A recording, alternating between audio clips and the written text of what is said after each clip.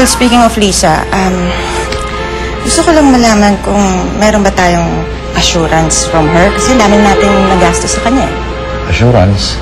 Baka lang, baka lang ilayo niya yung bata sa atin. Eric, bakit ka ba nagkakaganyan? Dahil ba kay Lisa?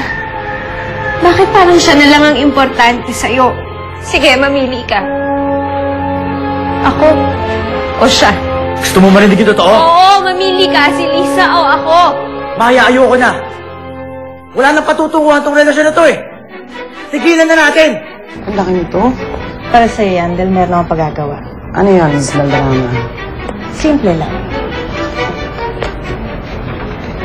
Adoption papers? Pwede mo ba ako samahan sa airport? Aalis ka? Lalayo. Baka sakaling makalimot. Madali namang ipatira si Ramon sa loob eh. At isa pa, pwede natin gamitin si Lisa yung anak niya.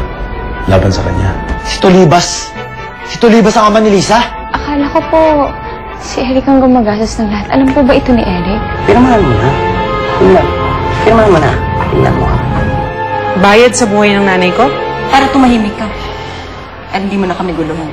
Lenny, malapit na akong manganak. Pagkapanganak ko, kamukhang kamukha mo siya. Para kahit wala ka na, para pa rin kitang nakikita.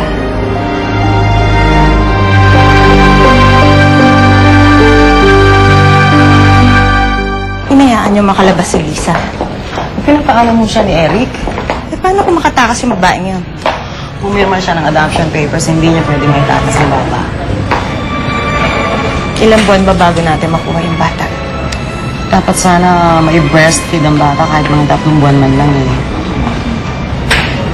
O sige, babalik nila ako ulit. Thank you.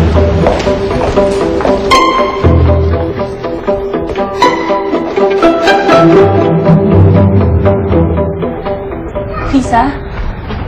Oh, Harold, bakit? May problema ba? Halika po kami dito. Ano yun? Akala ko ba wala kang balak ipamigay ang anak mo? Wala nga. Wala ka naman, wala ka naman akong planong ganun ah. Eh, bakit ka pumayag mga adoption papers? Adoption papers? Oo. Yun ang narinig ko sa usapan ni Mrs. Lula at Mrs. Nadarama kanina. Meron ditong mga dokumento na pinapirmahan ko sa kanila na kailangan pirmahan mo rin. Nakasaad dyan na hindi sila sisira sa usapan hanggang sa makapasigi ang suporta hanggang sa makapanganak ka. Para sa inyo, dalawa lang yung ano. Sabi ko na nga ba eh, niloko nila ako. Mga hayop sila. Hindi ako papayag. Hindi ako papayag. Kailangan ko na umalis. Ano ka ba? Huwag kang padalos-dalos. Kabalo mo pa naman ngayon. Hindi nila makukuha ang anak ko. Ah! Teka. Isa? Ah! Bakit? Manganganak na yata ako. Ha? Naku! Teka lang! Sus Mariosa!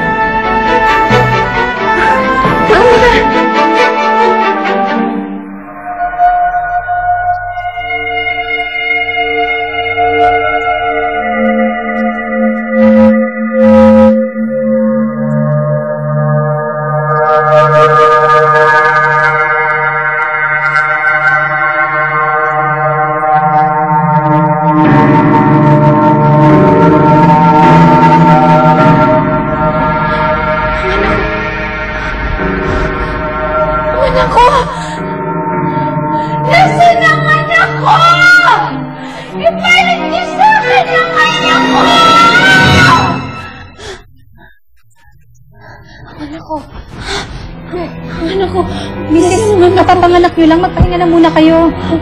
Sige po. Hindi. Ang anak ko. Nasaan na sir mo? Ang anak ko. Gusto na po kayo.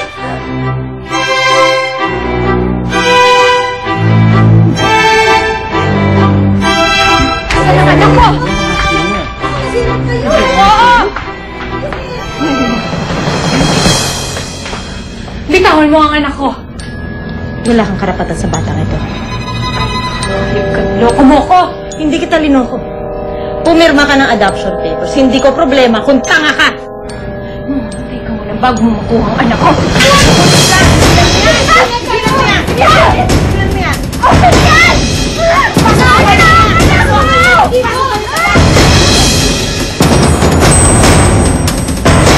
Nga may asawa na yun si Dito.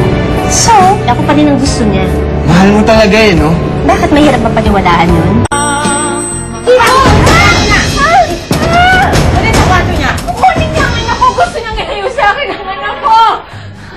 Kwarto. Nagkakamali ka. Binibisita lang niya ang anak mo. Ipasok sa kwarto. Sinungaling!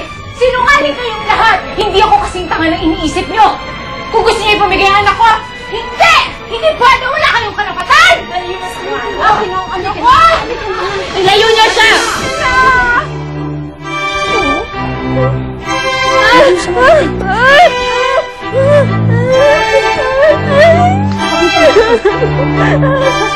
Nakita mo? Nakita mo kung anong klaseng babae yun? Ha? Sa palagay mo ba, papayag, papayag siya na makuha ko ang bata? Eh, wala na rin man siyang magagawa eh. Pangalang nakakaawa rin. Mas nakakaawa na makita ang isang balderama na naghihirap kasama niya.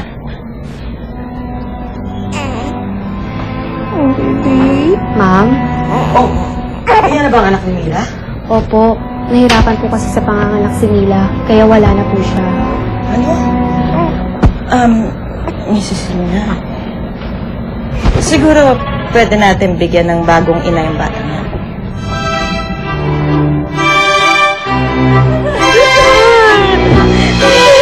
Ang ginagawa niyo sa kanya? Sabi nga, ano yan? Pampakalma lang po, sir. Bawal sa kanya may stress at kapapanganak niya lang. Sige na, iwanan mo na kami. Miss na bakit ano nangyari? Kinuha niya ang anak ko. Tulungan mo ako eh. Parang awa mo na. Huwag niyong kunin ang anak ko. Please, huwag niyong kunin ang anak ko. Si Mama, saan ka lang ha?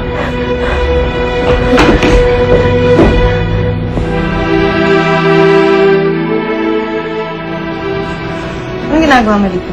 Kayo ma, anong ginagawa niyo rito? Binibisita ko ang apo ko. Para ano? Para kunin sa ospital at iwan ng ina? Pwede ba? Huwag mo ipapakita ang gaspang ng ugali mo dito. Bakit ba? Magandang asal ba ang pagnanakaw ng isang sanggol? Apo ko siya. Buhay pa ang ina niya! May papeles ako. Ma, walang korting papanig sa'yo kapag nilaban mo yung papeles na yan. At kapag tinuloy mo ang binabalak mo, tutulungan ako si Liz sa pagdemanda niya para tuluyan na masira ang mga pangalan ng Valderrama!